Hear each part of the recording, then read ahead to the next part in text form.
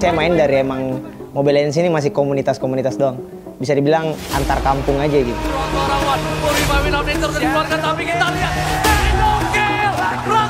Banyak banget anak-anak Indonesia yang seben- yang pengen menjadi professional player gitu.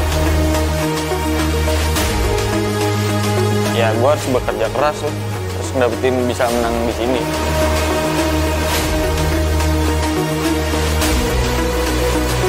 Kalau di underestimate itu sih aku kayak biasa aja sih. Aku orangnya lebih cuek karena menurut aku kalau di game ya gak ada yang nama cewek-cewek atau cowok-cowok gitu.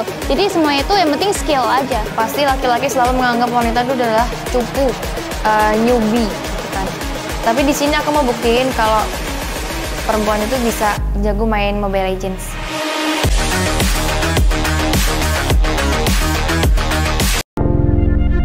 Vision Plus